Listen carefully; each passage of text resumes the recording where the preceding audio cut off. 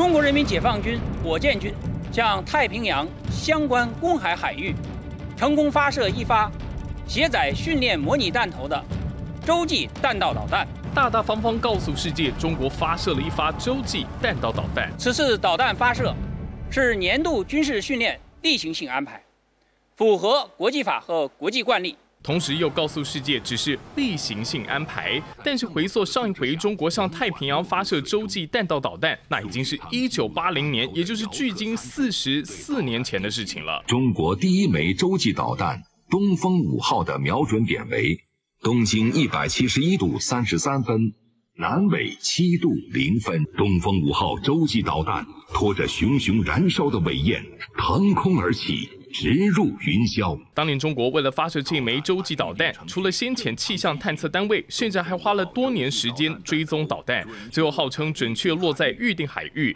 时至今日，再来一次，却称是例行性。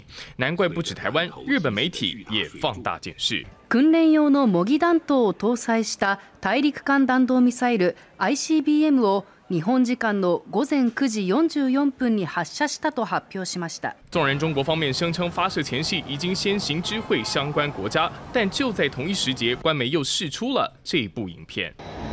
我始终忘不了驾驶歼二零看到宝岛的情景，把歼二十飞出来俯瞰宝岛，究竟是例行军演，还是又是一部动贺？答案不便自明。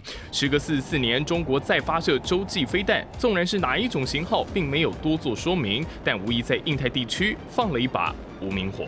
战立新闻报道。